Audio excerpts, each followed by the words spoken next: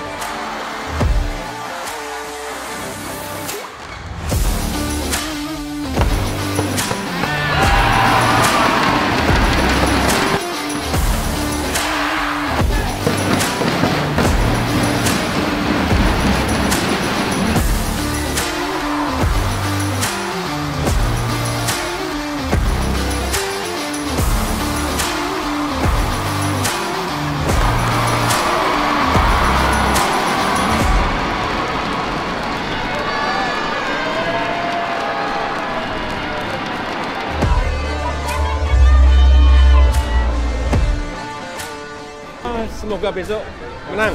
Ya, finalnya menang. Pak De! Pak sebelah sini!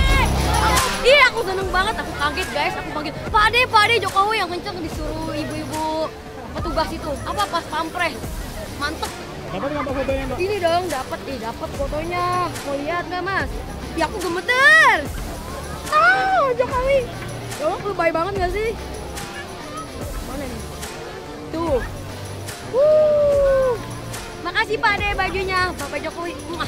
Aku Vivian dari cabang olahraga e-sport divisi Mobile Legend Women. Rasanya sampai sekarang pun ya masih nggak nyangka ternyata ikut SEA Games masih nggak nyangka dan apalagi ternyata sesuai dengan permintaan Pak Jokowi emas gitu kan buat Pak Jokowi dari apalagi pertama kali buat sejarah gitu kan.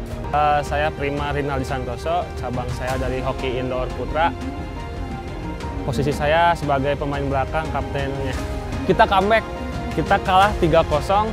Kita menyisakan waktu kurang lebih 4 menit, kita bisa membalikan keadaan menjadi 3-3. Habis itu kita eh, adu penalti dan kita menang 2-1. Atas nama negara, saya menyampaikan ucapan terima kasih dan apresiasi yang sebesar-besarnya atas perjuangan saudara-saudara semuanya. Baik para peraih medali, para atlet, para pelatih, asisten pelatih, para pendamping, dan semua yang telah bekerja keras untuk mencapai itu. Saya Henis Ciono, saya atlet basket putri Indonesia. Ya, senang, bangga, dan lega sekali karena bisa jadi bagian dari sejarah karena basket putri pertama kalinya mendapatkan eh, medali emas sejak 46 tahun yang lalu SEA Games diadakan. Ya, kita dapat jadwalnya ketat, 6 game beruntun, terus kita bisa eksekusi dengan baik, 6-0, 6 menang sehingga medali emas. Ya, rasanya semuanya terbayarkan sih. Semua baik yang dapat emas, perak, dan perunggu, tapi yang mengejutkan memang tim basket putri. Karena kita nggak pernah dapat emas, sudah 64 tahun. Mana tim basket putri? Hanya satu, dua, tiga. Ya.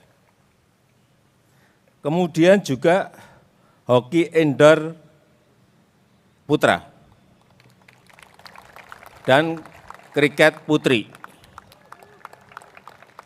Ini kita baru berhasil mendapatkan emas itu sejak pertama kali ikut SEA Games. Mana ini? Hoki indoor sama kriket putri.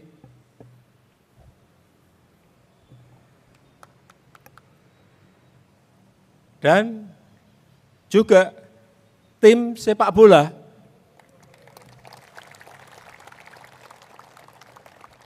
Yang sudah 32 tahun, nggak pernah kita dapat emas. Nggak dapat. 32 tahun. nggak pernah dapat emas. Ini dapat, mana ini bola? Oh, di belakang. Ya.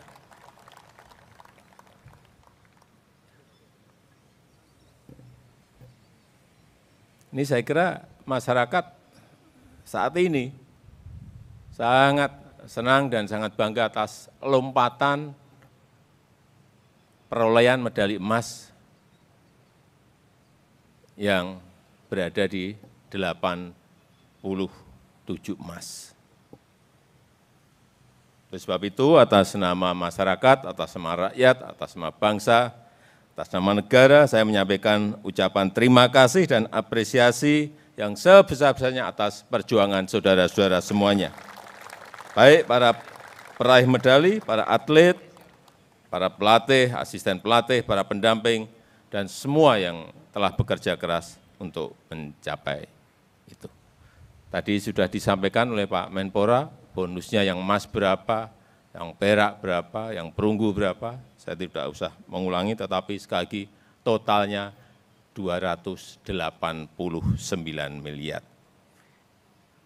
Yang segera akan diberikan kepada Bapak Ibu dan saudara-saudara sekalian. Saya titip pesan aja ini bonus ini dimanfaatkan sebaik-baiknya, utamanya untuk investasi jangka panjang.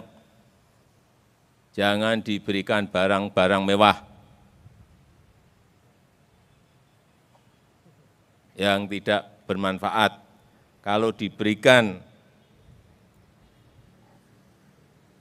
barang yang untuk investasi jangka menengah atau panjang, dijual itu harganya selalu naik terus. Kalau beli mobil, dibeli sekarang, tahun depan dijual sudah jadi separuh. Bedanya di situ, investasi dan bukan investasi di situ.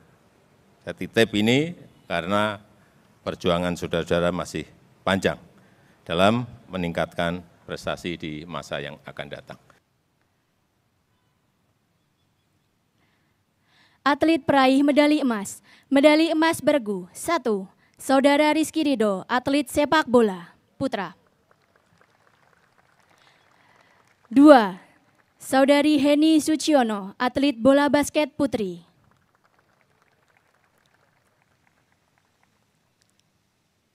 Tiga, Saudara Muhammad Alfiana, atlet hoki indoor putra.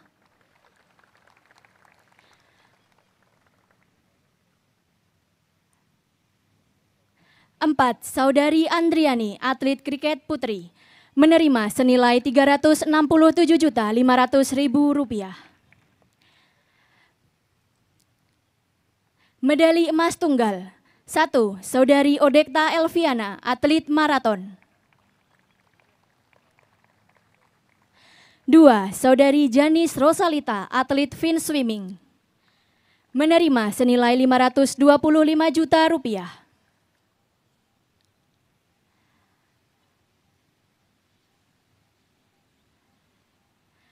Atlet peraih medali perak.